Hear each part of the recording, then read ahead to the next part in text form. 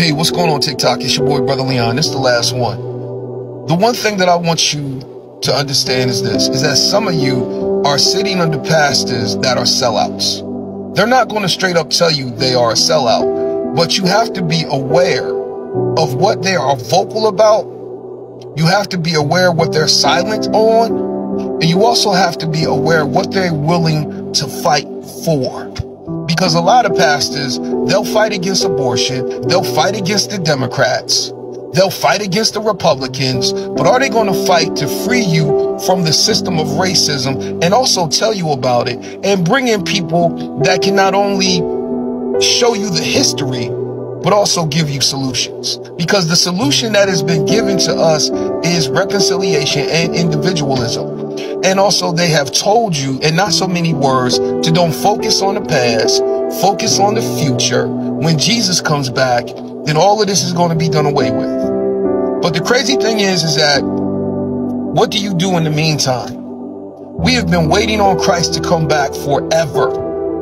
And the crazy thing is, is that they can't make it make sense. They can't make it make sense when the writings are of Paul are more or less servants obey your master.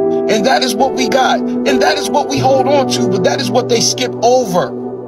And so I'm telling you right now, some of you are sitting under sellouts. Some of you are sitting under people who will never say anything about racism and prejudice. They will never say anything about that devil and demon that still sits in the church, but they'll prophesy to you.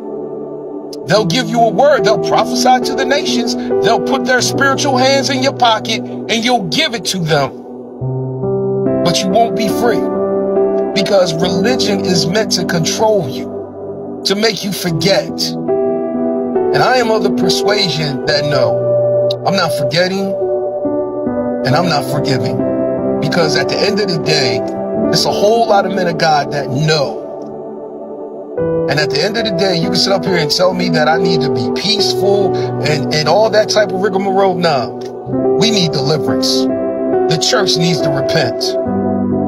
And so at the end of the day, I'm telling you people to watch out because some of you are sitting under sellouts and they've been selling you out and sending your money overseas to help out people that don't even look like you and giving it to organizations that don't even have your best interests.